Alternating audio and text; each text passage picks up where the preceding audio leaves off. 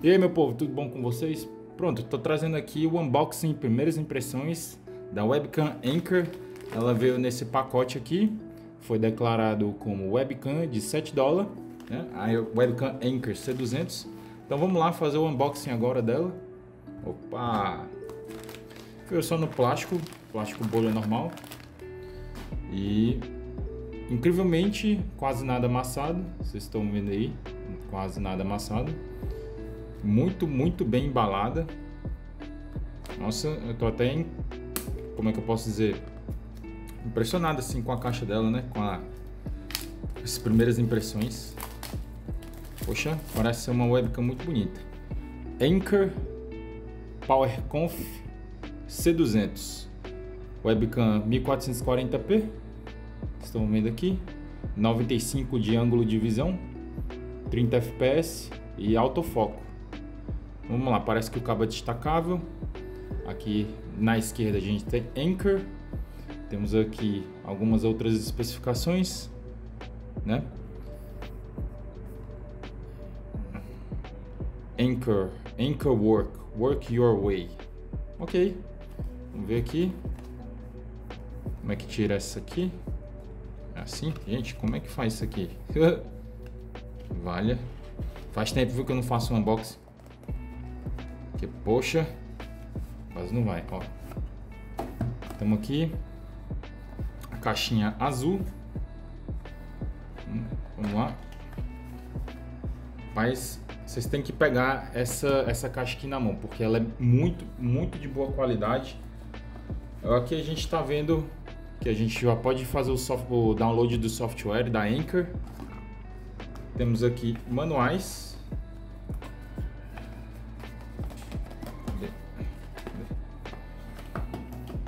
aqui os manuais, manuais da Anchor,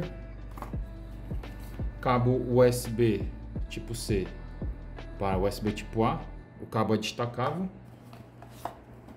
A gente tem aqui a webcam. Será que vocês vão conseguir ouvir aqui? Cadê?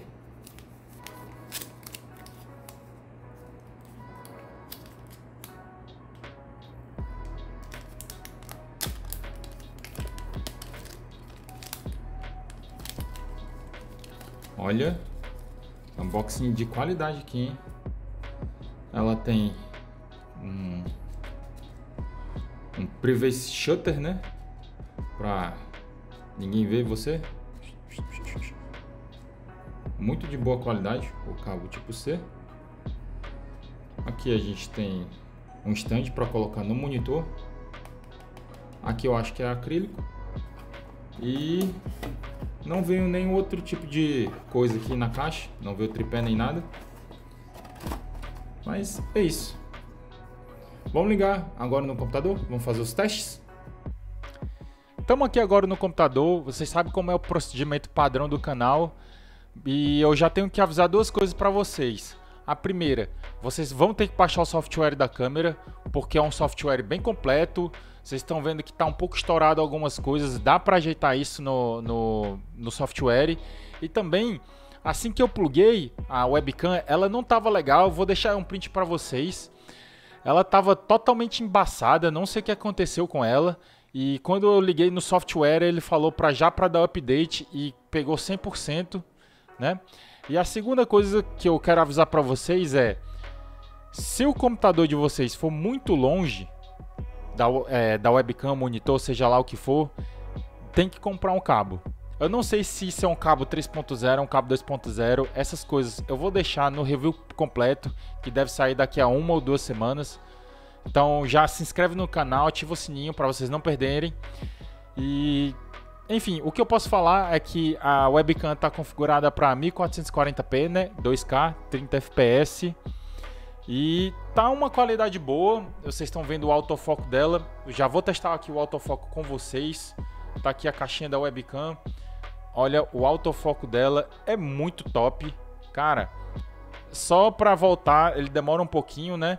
Mas quando você quer mostrar alguma coisa, cara, olha isso, velho. É muito rápido.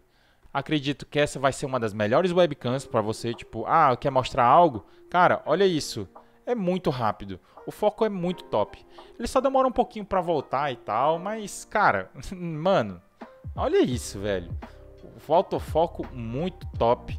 Muito top. Não errou até agora, eu tô impressionado. Eu vou ligar aqui agora a minha ring light para vocês verem como é que fica. Mas vocês já podem ver que só tá a luz ligada do meu quarto. A webcam é bem clara, tem uma bastante fluidez. Só que eu não gostei muito foi que ela é, ela parece muito granulada, né? E ela parece ter aquele efeito de como é que eu posso dizer, aquele efeito de celular para deixar o rosto sem é, sem manchas e tal, né? Aquele efeito beautiful, sei lá o que, enfim, não sei como é que se chama não. Mas tá aí, parece tá de boa. Ó, tô me movimentando aqui. A webcam parece ser muito top. Infelizmente o autofoco, vocês podem ver que ele às vezes ele pode dar uma caçada, né, se você se movimentar demais, mas eu acredito que é um bom autofoco e se vocês tiverem é, alguma dificuldade, eu testei aqui também tirar o autofoco, deixar foco manual, isso é muito top também.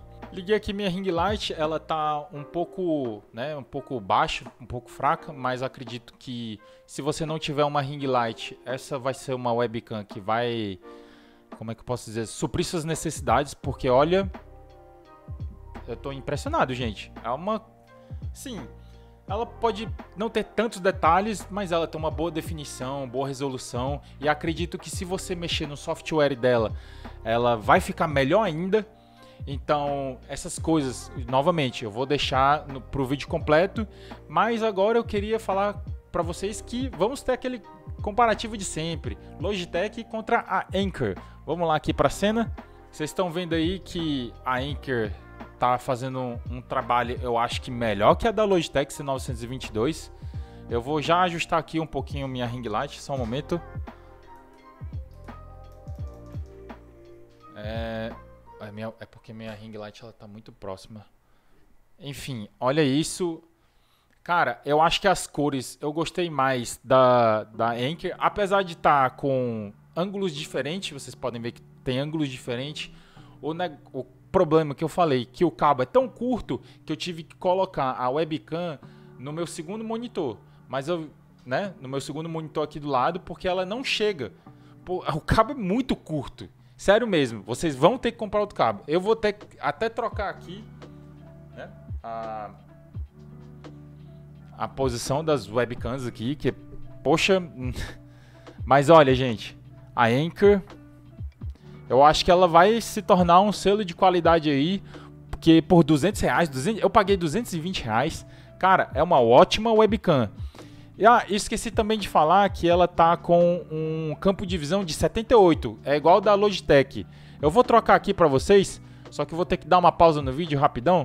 Feita a mágica da edição, vocês estão vendo aí que eu troquei a, o ajuste de, de, de ângulo, né? O campo de visão da, da Anchor de 78, que é o mesmo da Logitech, né? 78 para 95. E olha aqui, já tá pegando minha cama. Cara,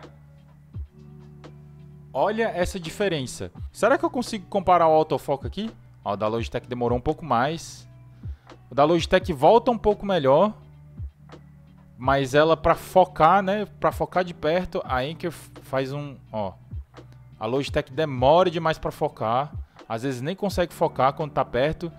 E então a, a Anchor faz um trabalho bem melhor em questão de autofoco. Vai sair o review dessa webcam e vai ter mais outro comparativo com essa outra webcam aqui com vocês, no novo comparativo triplo de webcams.